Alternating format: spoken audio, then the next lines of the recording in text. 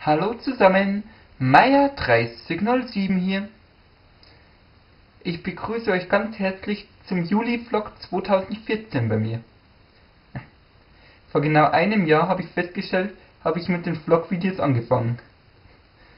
Und so wie ich das an den Aufrufverzahlen sehe, sind es auch die beliebtesten Videos auf meinem Kanal.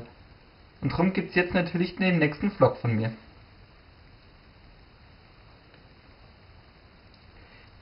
Zuerst möchte ich euch mal was zeigen. Denn ich habe etwas bekommen.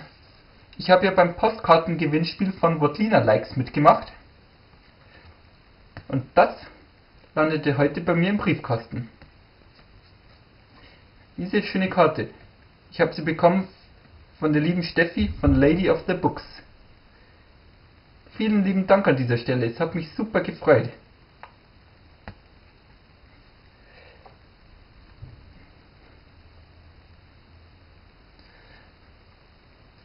Und gestern sind bei mir auch noch drei neue Bücher eingezogen, die, die ich euch jetzt mal kurz zeigen möchte. Ich habe ja schon mal erwähnt, sobald es im Gemeiner Verlag die neuen Bücher gibt, das ist zweimal im Jahr, dann fängt mein Geldbeutel immer an zu weinen. So auch diesmal, weil ich habe jetzt knapp 30 oder 40 Euro, weiß ich jetzt gar nicht mehr, in der Buchhandlung ausgegeben. Als erstes habe ich mir besorgt Manfred Baumann Drachenjungfrau. Es ist der vierte Fall für Martin Merana. Die Martin Merana-Reihe spielt hier in Salzburg und hat mir bis jetzt eigentlich immer recht gut gefallen. Der Krimi spielt aber nicht direkt in Salzburg, sondern anscheinend ein bisschen in der Provinz. Schauen wir mal. Dann Michael Gerwin, Andexer Tod, ein Fall für Ex-Kommissar Max Rheintaler. Band 7 dieser Serie meines Erachtens. Aus der Reihe habe ich euch ja bereits drei Bücher vorgestellt. Und das werde ich euch dann vielleicht auch noch vorstellen. Muss ich mal schauen. Und dann, worauf ich mich schon länger gefreut habe, Hermann Bauer, Schnitzlerlust. Der siebte Fall für den Chef Ober Leopold. Da habe ich jetzt auch schon reingelesen. Gefällt mir gut. Aber anscheinend in, in den anderen Büchern war es ja so, habe ich euch in den Rezensionen auch gezeigt, dass viele Wiener Begriffe erwähnt und hinten im Glossar übersetzt werden. Das habe ich jetzt in diesem Buch leider noch nicht gefunden. Das ist ein bisschen schade, finde ich, weil das hat die Bücher irgendwie immer auch ausgemacht, diese schönen Wiener Begriffe. Naja. Aber wie gesagt, in den Rezensionen werdet ihr mehr zu diesen Büchern erfahren. Dann, Moment.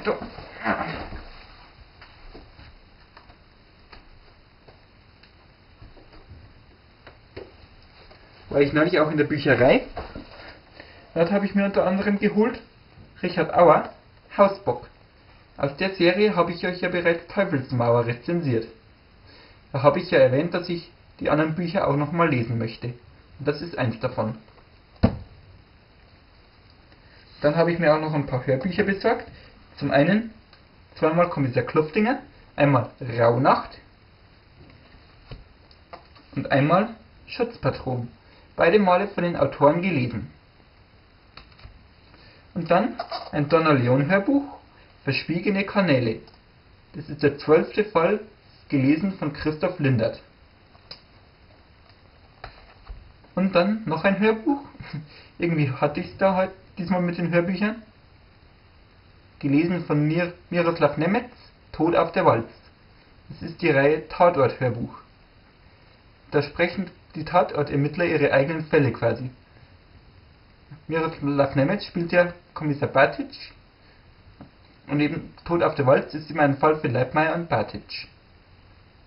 Diese Reihe gefällt mir sehr gut, die Tatort-Hörbücher. Gibt es auch mit Udo Wachtweitel eben als Kommissar Leitmeier, Ulrike Volkerts als Lena Odenthal, Charles Brauer, jetzt weiß ich aber gerade nicht, wie der Kommissar dazu heißt. Aber es sind die ganz alten Hamburg-Tatorte, die ich mir auch ab und zu noch gern anschaue. Kommissar Stöber, genau, jetzt. Beim Tatort meine absoluten Favoriten sind ja Thiel und Börne. habe ich gehört, soll ja bald ein Kinofilm sogar rauskommen. Da würde ich mich sehr drüber freuen. Denn die beiden finde ich nur klasse. Von Jan-Josef Liefers soll es übrigens auch Tatort-Hörbücher geben, habe ich aber bis jetzt noch nicht gefunden. Aber jetzt ein ganz anderes Thema, Fußball. Und an dieser Stelle kurzer Gruß nochmal an den Buchtoaster. Ich habe ja dein Fußballvideo zum Genua-Spiel, glaube ich, was gesehen. Nein, nicht Genua, Ghana, Mensch. Zum Ghana-Spiel gesehen. Der Tag nicht schlecht. Ich werde ihn aber wahrscheinlich nicht machen, weil ich jetzt auch nicht so der übermäßige Fußball-Freak bin. Ich schaue es mir zwar gerne an, ja. Was mich gefreut hat, dass so viele von den Favoriten so früh rausgeflogen sind. Vor allem die Spanier in der Vorrunde schon. Und natürlich sehr schön die Engländer. Da gab es ja auf einem Radiosender dann das schöne Liedchen am nächsten Tag It's going home, it's going, football's going home. Oder wo ich auch so lachen musste, war das Bild vom weinenden Ronaldo nach dem Portugal-Spiel.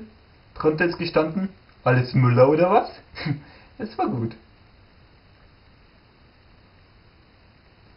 Und jetzt zum Spiel gegen Algerien habe ich auf YouTube was gesehen von Sebastian Reich, früher auch Pierre Ruby genannt. Das ist ja ein fränkischer Bauchredner, der mir super, super gefällt.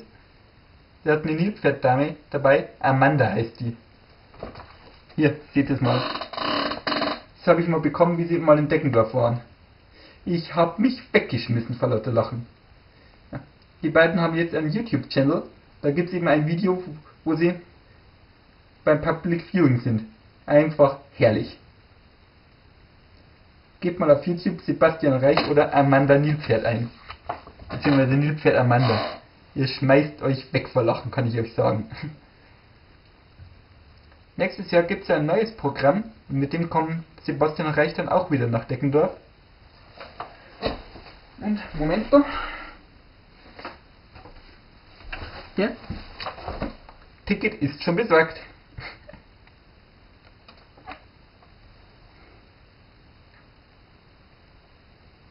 Also ich sage ja, Deutschland wird Weltmeister.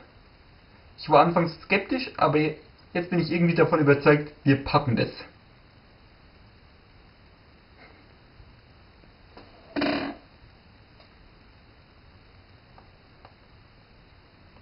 In den nächsten Tagen wird es dann auch mit meinem 100 Abonnenten-Special weitergehen. Eigentlich wollte ich ja schon letztes Wochenende den zweiten Teil auf der Landesgartenschau gedreht haben, aber das Wetter wollte nicht so wie ich wollte. Die ganze Zeit hatten wir strahlenden Sonnenschein, aber genau am Wochenende, wo ich das Video machen will, muss es natürlich schütten wie nochmal was. War ja klar, dass ich wieder so viel Glück mit dem Wetter habe.